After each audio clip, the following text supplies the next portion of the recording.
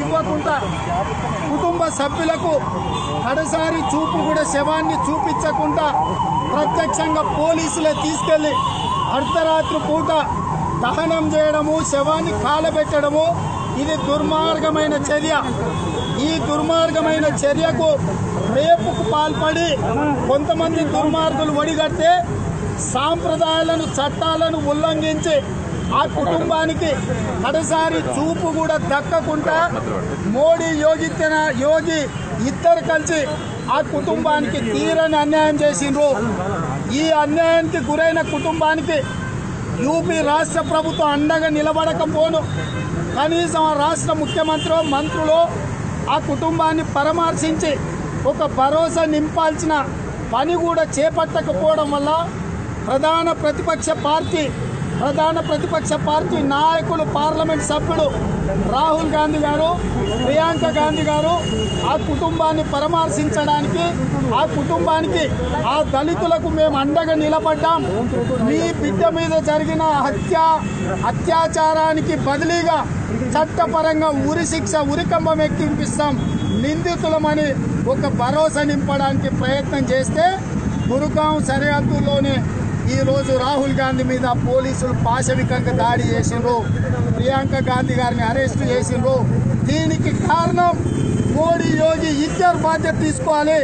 ఇవాళ పోలీసులను పెట్టి ఇవాళ దళిత కుటుంబానికి అండగా నిలబడాల్సిన కాంగ్రెస్ పార్టీని ఇవాళ నియంత్రించే ప్రయత్నం చేసిండ్రు. కాబట్టి ఈరోజు తెలంగాణ కాంగ్రెస్ పార్టీ డిమాండ్ చేస్తుంది. రాహుల్ గాంధీ గారి మీద దాడి చేసిన పోలీసులను తక్షణమే బర్తరఫ్ చేయాలి పోలీస్ డిపార్ట్మెంట్ నుంచి. అదే విధంగా ఏ దళిత ఆడబిడ్డ మనీష వాల్మీకి మీద ఇంత దారుణానికి ఒడిగట్టిండ్రో రేప్ అండ్ మర్డర్ చేసిండ్రో వాళ్ళను తక్షణమే అరెస్ట్ చేసి ముప్పై రోజులలో ఉరికంబం ఎక్కించాల్సిన అవసరం ఉన్నది. ఇవాళ ఫోరెన్సిక్ నివేదికను తారుమారు చేసి భారతీయ జనతా పార్టీ రాజకీయ కుట్రలకు కుతంత్రాలకు పాల్పడుతుంది. ఇవాళ బీజేపీకి సంబంధించిన వాళ్ళు రాహుల్ గాంధీ గారు ఆ కుటుంబాన్ని పరామర్శించడానికి పోతే దాన్ని వెకిలిగా వెటకారంగా మాట్లాడుతున్నారు నేను ఒకటే అడుగుతున్న బీజేపీ వాళ్ళని హిందూ సాంప్రదాయాలను మీరు గౌరవిస్తామంటారు కదా? హిందూ హిందూ సాంప్రదాయాలకు మీరే ప్రతినిధులమని చెప్పుకుంటున్నారు కదా? సొంత కుటుంబ సభ్యులు బ్రతుకున్నప్పుడు సోదరులు తల్లిదండ్రులు బతుకున్నప్పుడు కుటుంబ సభ్యులు దాన సంస్కారం చేస్తారా? లేకపోతే అనాథ శవంగా పోలీసులు దాన సంస్కారం చేస్తారా? ఇది హిందూ సాంప్రదాయమా అని నేను అడుగుతున్నా. రెండవది వివాహం కానీ మహిళలు ఉంటే వాళ్ళను పూడ్చిపెడతారు పెళ్ళైన వాళ్ళు ఉంటే వా శవాన్ని కాలుస్తారు. ఇవాళ వివాహం కానీ అమ్మాయి మీద దారుణానికి ఒడిగడితే మీరు తీసుకెళ్ళి అర్ధరాత్రి పూట శవాన్ని తగలబెట్టిండ్రు.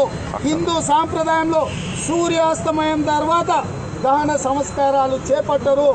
అర్ధరాత్రి పూట హడావిడిగా మీరెందుకు దాన సంస్కారాలు చేపట్టాల్సి వచ్చింది? ఏ ముద్దాయిలను ఏ రేపిస్టులను కాపాడడానికి యోగి ఉత్తరప్రదేశ్ ముఖ్యమంత్రి గారు ప్రయత్నం చేస్తున్నారు ప్రజలు అర్థం చేసుకోవాలి.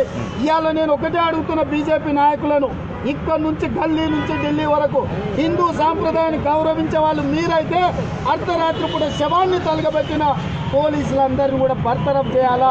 కనీసం ఆ శవాన్ని వాళ్ళ ఇంట్లో ఒక పది నిమిషాలు పెట్టడానికి ఒక్క నిమిషమైన వాళ్ళ కుటుంబ సభ్యులు చూడడానికి మీరు శవాన్ని కూడా ఇవ్వలేదంటే ఈరోజు యూపీ ప్రభుత్వం బీజేపీ ప్రభుత్వం ఎంత కర్కోటంగా ఎంత కర్కశంగా దళితుల మీద దాడి చేస్తుందో మొత్తం యావత్ భారతదేశం గమనిస్తుంది. ఇవాళ కాంగ్రెస్ పార్టీ నూటికి నూరు శాతం ఈ దళితులకు ఈ కుటుంబాలకు మేము అండగా నిలబడతాం. ఇట్లాంటి దారుణాలకు వ్యతిరేకంగా పోరాటం చేద్దాం